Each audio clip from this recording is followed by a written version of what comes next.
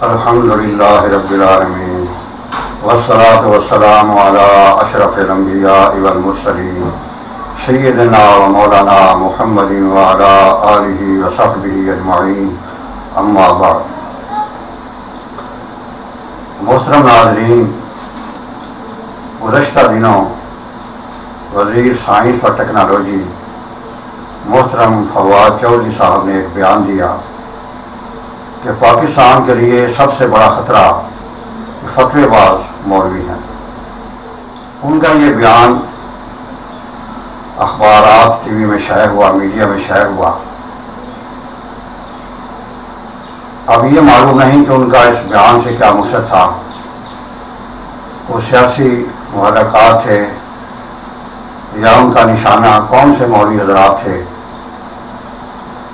اور یہاں میں مولوی اور مسلم معاشرہ کے باہمی تعلقات کے بارے میں چند باتیں عرض کرنا چاہتا ہوں۔ مقصد یہ کہ کسی مسلم معاشرے میں مولوی صاحبان کے بغیر کام نہیں چلتا۔ اور مسلم معاشرے میں مولوی صاحبان ایک اہم حیثیت کے مالک ہیں۔ دیکھیں جب بچہ پیدا ہوتا ہے تو یہاں بھی مولوی صاحب کی ضرورت پڑتی ہے۔ دائیں کان میں اذان کہنی ہے، بائیں میں تکبیر کہنی ہے۔ اسے اسلام میں داخل کرنا ہے۔ تو یہاں بھی مولوی صاحب کی ضرورت پڑتی ہے وہی بچہ پیدا ہوتا ہے۔ اب بچہ جوان ہو گیا، اب اسے دین اسلام کے عقائد و اعمال کے بارے میں بتانا ہے۔ اس کا جو بھی مقبہ فکر ہے کسی بھی فرقے سے تعلق رکھتا ہے، مگر مولوی صاحب ہی آ کر اسے بتائے گا کہ ہمارے مذہب یا مسئلہ کے بنیادی عقائد یہ ہیں، یہ اس کے مسائل ہیں، یہ اسے مولوی صاحب ہی بتائے گا۔ کوئی لبرل مائنڈیڈ یا آزاد خیال شخص جو مسلمان ہے، وہ اسے نہیں بتا سکتا کہ ہاں بھائی یہ اسلام کے یہ بنیادی قائد ہیں۔ یا یہ اعمال ہیں۔ اس کے بعد آپ سے نماز پڑھنے کے لیے مسجد میں جانا ہے۔ تو مسجد میں مولوی حضرات کے بغیر کام نہیں چلتا۔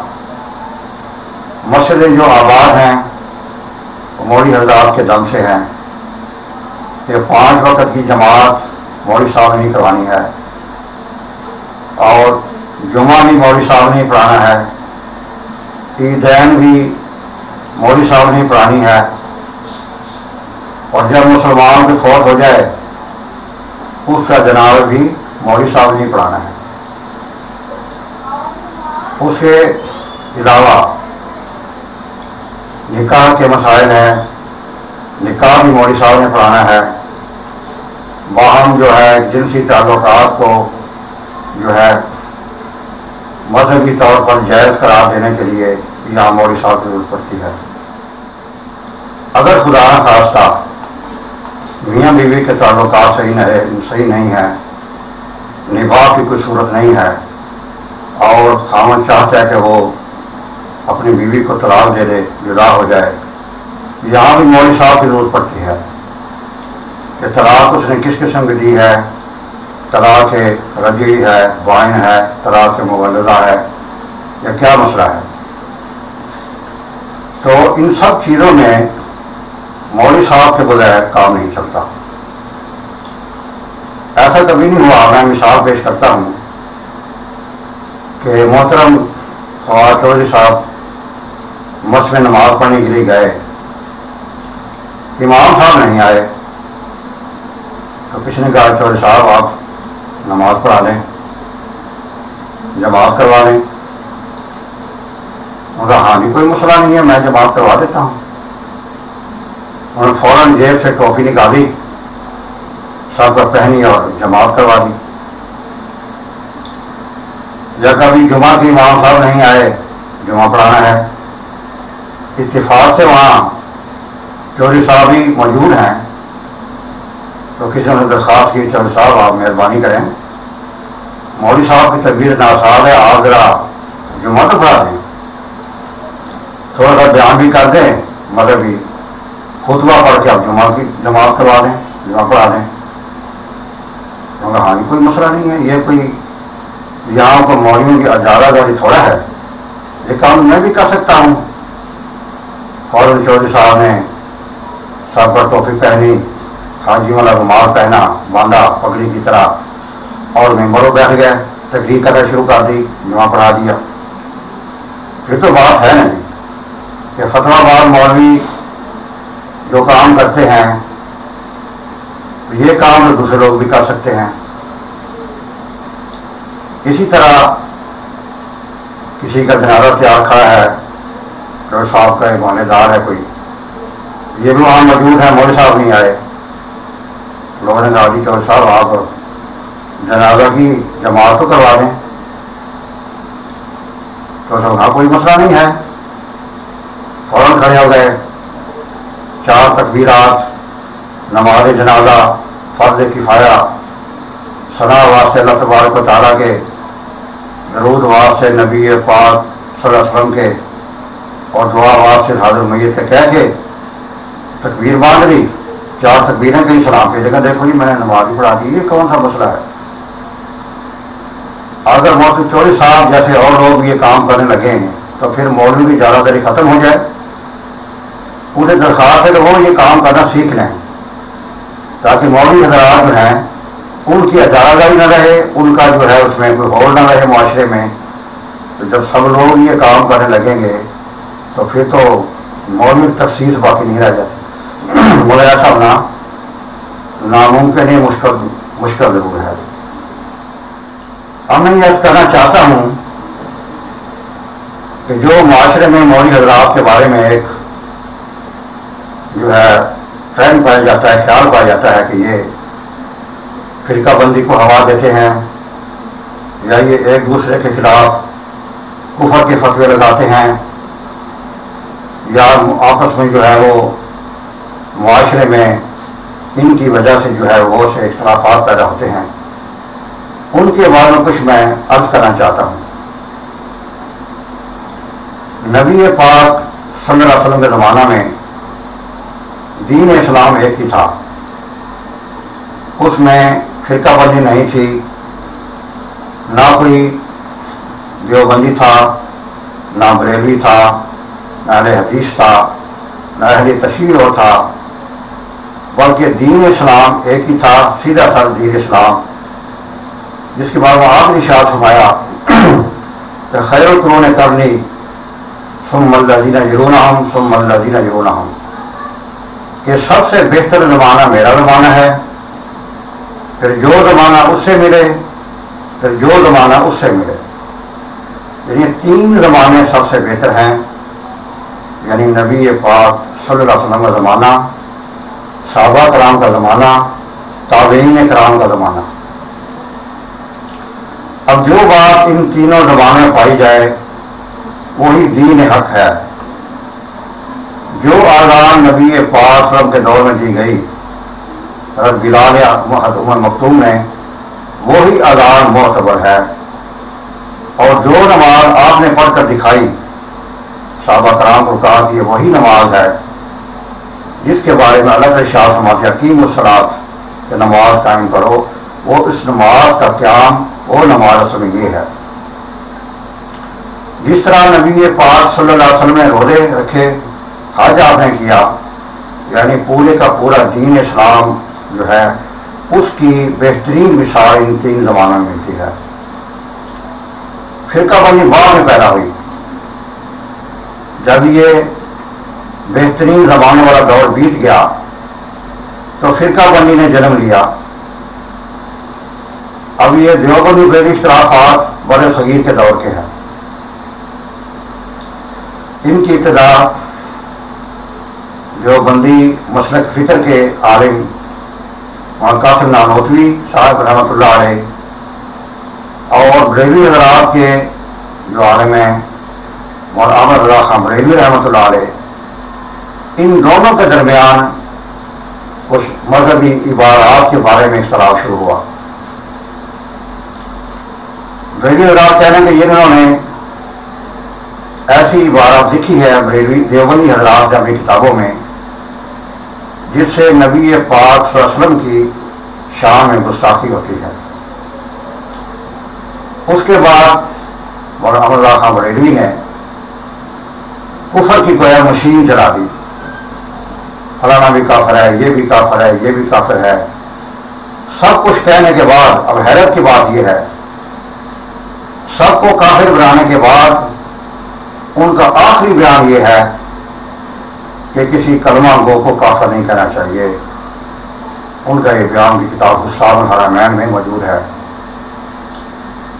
اگر کسی شخص میں ننانوے وجوہات، کفر کی ہو ایک وجہ اسلام کی ہو، تو اسے مسلمان کہنا چاہیے اور کفر سے ان کے، کفر کافر کہنے سے کف لسان یعنی زبان کو روکنا بہتر ہے۔ یہ ان کا آخری بیان یہ ہے۔ اب حیرت کی بات یہ ہے کہ ان کی وفات کو کافی عرصہ بیت چکا ہے۔ اور بریلوی حضرات اب بھی انہی عبارات کو بیان کرتے ہیں اور انہی اختلافات کو ہوا دے کر اپنی دکانداری چمکاتے ہیں، اپنی گار کی سیدھی کرتے ہیں اور ان کے آخری بیان کو مد نظر نہیں رکھتے۔ جس نے فوری طور پر یہ کہا کہ میں چیزیں بڑی جمع ہوں کہ کسی کلمہ گو کو میں کافر کہوں جب کافر نے نہیں کہا، کافر کہنے سے رک گئے، مسلمان ہیں، تو پھر یہ تکفیر بازی، آپس میں مناظر بازی، اختلافات کو ہوا دینا کیا معنی رکھتا ہے؟ جب میں واضح طور پر کہہ دیا کہ میں کسی بھی کلمہ گو مسلمان کو کافر نہیں کہتا، پہلے جو کہہ دیا تو کہہ دیا تھا، اور میرا موقف یہ ہے۔ اس لیے لوگ کیوں نہیں بیان کرتے؟ مسئلہ صرف یہ ہے کہ ان کا کاروبار نہیں چلتا۔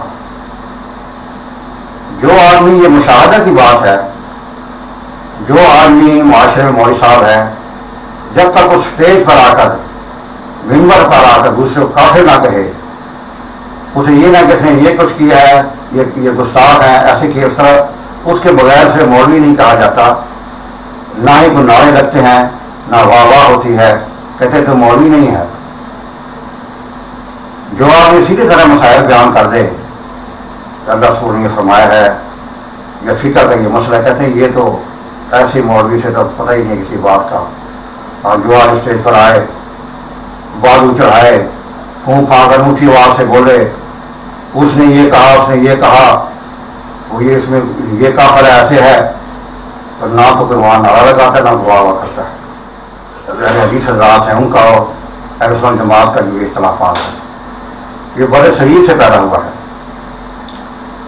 اب ان کا بچہ بچہ جو ہے، وہ دوسروں کو ٹوکتا ہے کہ بھائی، تمہاری نماز صحیح نہیں ہے۔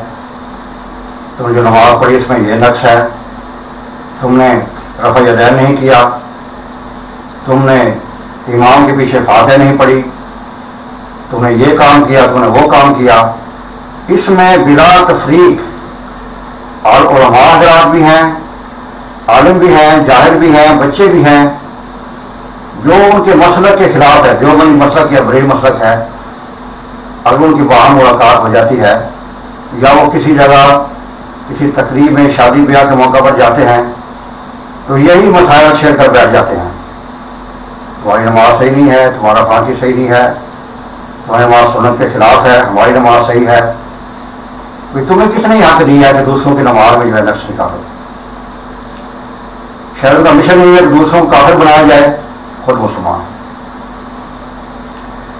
اصل میں ان اختلافات کا جو مسئلہ ہے، بنیادی موضوع یہ ہے، اس طرح شیعہ سونی اختلافات ہیں۔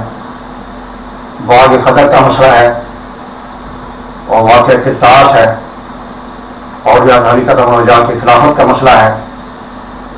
اب یہ ایسے مسائل ہیں جن کے بارے میں اور جماعت اپنی کتابوں میں بار بار وضاحت کر چکے ہیں کہ بھائی باغ فدر کے مسئلہ میں جو آپ بیان کرتے ہیں، اپنی غلط فہمیاں ہیں، انہی کی کتابوں سے ثابت کرتے ہیں واقع کتاب نہیں ثابت کرتے ہیں۔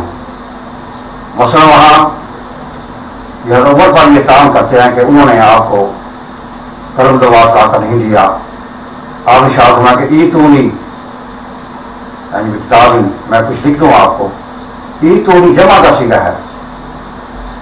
اس وقت نبی پاک رسوں کے پاس حضرت علی کرم اللہ جہاں حضرت ابن عباس، حضرت عباس عمر باقی صحابہ کامی تھے۔ آپ نے خاص حضرت عمر کو خطاب ہی فرمایا تھا بھی آپ لے آئیں کاغذ قلم میں تحریر لکھ دوں، تاکہ اس کے بعد تم گمراہ نہیں ہوگے۔ آپ کا کتاب تمام صحابہ کرام کو تھا۔ اس میں سارے صحابہ کرام ملوث ہیں۔ اور حضرت علی کرم جہاں کتاب کاغذ قلم لے آتے عظمت کی بات کو نہ مانتے، تو کیا فرق پڑتا تھا؟ یہ بات صحیح نہیں کہ عمر کی، آپ نے اگر انکار کیا ہے، تو باقی صحابہ کرام آپ کے پابند تو نہیں تھے۔ وہ کتاب کاغذ قلم لے آتے بھی آپ اشاعت ہمارے ہیں۔ اور آپ کا اشاعت اور صحابہ کرام موجود تھے، وہ آپ کاغذ قلم لا رہے تھے کبھی نبی پاک صلی اللہ علیہ وسلم میں جو فرمایا ہے، کتاب کاغذ قلم لے آؤ تو آپ کی بات تو وہی ہے۔ ہوا ان وقت یوں ہا کہ اللہ کے نبی کوئی بات نہیں کہتا اپنی خواہش نفس سے، مگر تو وہی کی جاتی ہے۔ تو باقی صحابہ کرام جو موجود تھے، انہوں نے آپ کو کاغذ قلم لا کر کیوں نہیں دیا؟ اس میں خاص حکومت پر کام کیوں کیا جاتا ہے؟ اس طرح کے بہت سے مسائل ہونا بطور یعنی دلائل کے ساتھ ثابت کیا ہے۔ کہ یہ واقعہ جو ہے یہ صحیح نہیں ہے۔ مگر چودہ سو سال سے زیادہ عرصہ بیت چکا ہے۔ ابھی تک شیعہ ذاکر شیعہ حضرات یہی مسائل لوگوں بیان کرتے ہیں کہ ابھی باغ فتح نہیں دیا، آپ کو کاغذ کرنا کر کیوں نہیں دیا؟ یا اس میں جو ہے آپ کی خلافت کا مسئلہ ہے، یا دیگر جو ہے صحابہ کرام کی تکفیر کا مسئلہ ہے، یہ تکفیر بھی کرتے ہیں صحابہ کرام کی۔ ان کی کیا وجوہات ہے بات یہ ہے کہ یہ اصل میں جو بھی مولوی حضرات ہیں، جس مقصد تعلق رکھتے ہیں، شیعہ حضرات ہیں جو بندی حضرات ہیں بریوی حضرات ہیں حدیث حضرات ہیں، باقی ان کا یہ مسئلہ ہوگا، دین اسلام کی شاخ کا، ان کے ان کے ساتھ متعلق ہے۔ عام مسئلہ یہ ہے کہ ان کی دعوت بھی نہیں چلتی۔ ان کو مولوی کہنے کو تیار نہیں ہوتا۔ ورنہ یہ مسائل تو جب تک اب کتابوں بیان کیے جا چکے ہیں، چودہ سو سال عرصہ بیت چکا ہے، تو یہ مسائل ایسے ہیں جو حل نہ ہوں۔ اگر خلوص سے نیت سے کوئی آدمی کوشش کرے کہ میں مسائل حل کرنا چاہتا ہو جاتے ہیں۔ مگر یہ نہیں ہو رہے کیونکہ مسئلہ اصل میں دار ہو چکا ہے۔ اس سے اختلاف پیدا ہوتے ہیں۔ ایک دوسرے کافر کہتے ہیں اور پھر ان کو اسلام سے خارج کرتے ہیں۔ خود کو مسلمان سمجھتے ہیں۔ یہ تو دین کے دین کے سلامی تعلیمات کے خلاف ہے۔